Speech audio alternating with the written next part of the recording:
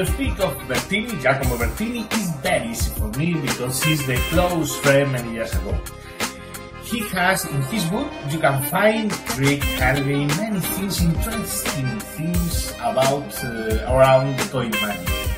So the thing you need to know about Giacomo Bertini is that he didn't just come up with a good move here or there that you've never seen before, and he did. I mean, when his stuff first came out, um, I don't think anybody had any idea what he was doing.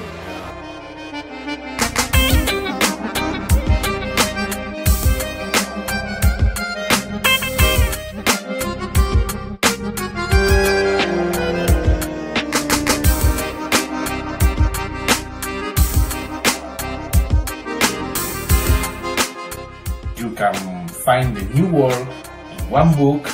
I'm sure you are happy when you buy this book because it's very, very, very good for many things.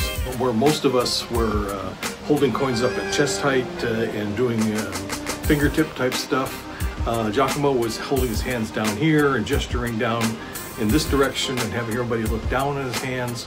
And uh, while he was standing and they were sitting, and he found uh, ways to maneuver coins in those situations. It was just amazing.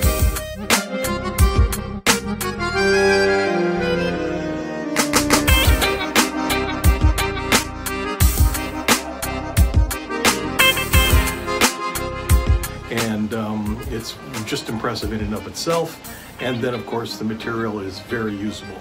So uh, I hope you check it out.